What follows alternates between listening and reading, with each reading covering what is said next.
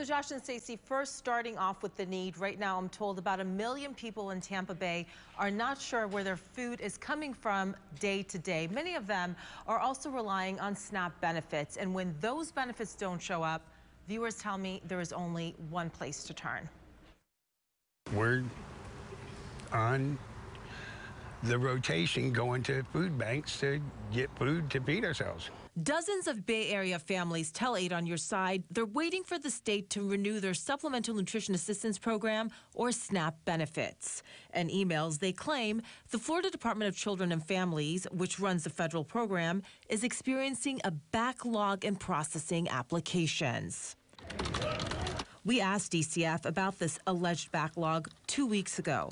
Thus far, the state has declined to comment. But tonight, we're getting new insight about what could be behind the delays viewers are reporting. Renewals have started again. Matt Spence is the Chief Programs Officer for Feeding Tampa Bay, the regional food bank for 10 area counties.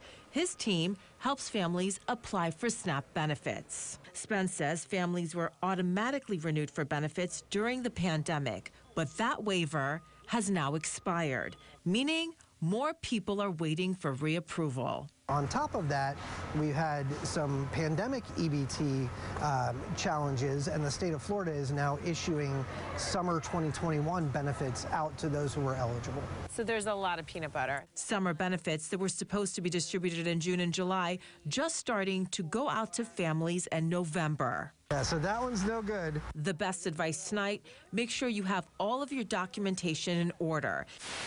If you have trouble applying online, consider an in-person visit. If you struggle at all, our team at Feeding Tampa Bay is here to assist. The DCF offices do a great job of assisting.